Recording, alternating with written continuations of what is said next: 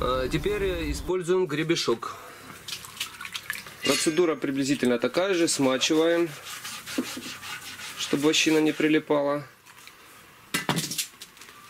Ложим лист вощины на лекало по краю.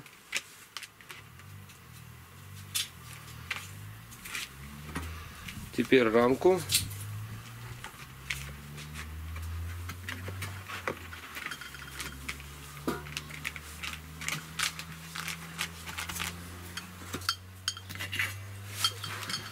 Гребешок. Да, и гребешком вдавливаем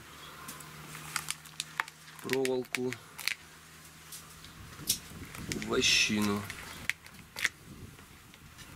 По-моему, быстрее получается, да? Ну да.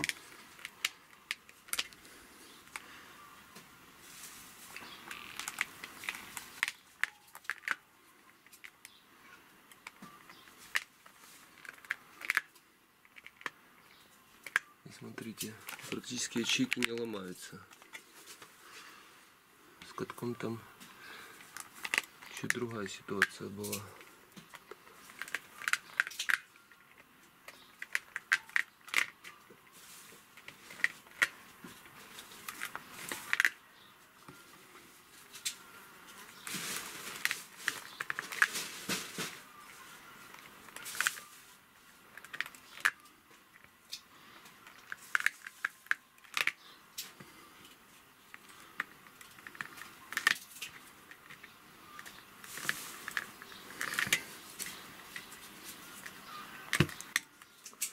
Ну вот, в принципе, снимай, как закрепилось.